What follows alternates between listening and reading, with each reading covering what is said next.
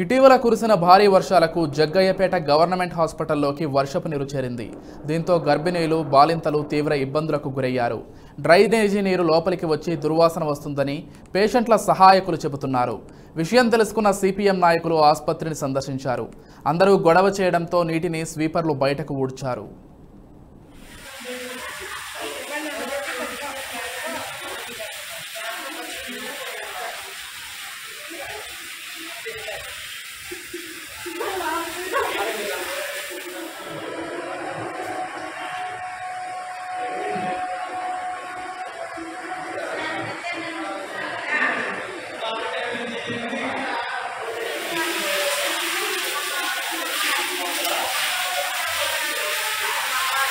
ah, ah.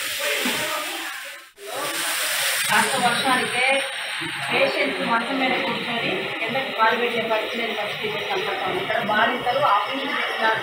వాళ్ళు కూడా ఉన్నారు.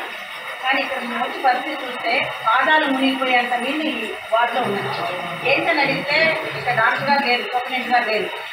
డెంటల్ డాక్టర్ గారు చెప్పేది ఏంటంటే ఎప్పుడు ఇదే పరిస్థితి అది కట్టే వరకు ఇది ఇలాగే ఉంటుంది అని చెప్తున్నారు. కానీ మీరు చెప్పేది ఏంటంటే ఇది వర్షాకాలం. పేషెంట్లు ఉంటారు. వాళ్ళకి సరైన రక్షణ కల్పించాలని మేము అడుగుతా ఉన్నాం వాళ్ళ వర్షంలో వాళ్ళు బాధితులు తగిస్తే వర్షానికి వాళ్ళకు వచ్చే అనర్థాలు ఏంటో ఈ రాష్ట్రం తెలుసు కానీ వాళ్ళు చెప్పేది ఏంటంటే ఇది కడుతున్నారు కాబట్టి కొత్తది పాతదాన్ని పడేస్తాం. అది పడేసిన తర్వాత ఇంట్లో షిఫ్ట్ చేస్తాం అంటున్నారు. వీళ్ళు ఇలాగే ఉండరు కదా డైలీ డెలివరీకి వచ్చే పేషెంట్ ఉన్నారు. కానీ ఈ పద్ధతి బాగలేదు. ప్రభుత్వం తక్షణం వెంటనే వాళ్ళని షిఫ్ట్ చేయాలి ఎక్కడికైనా. దీన్ని పునరావృతం కాకుండా చూడాలని చెప్పేసి ఇక్కడ పట్టిందండి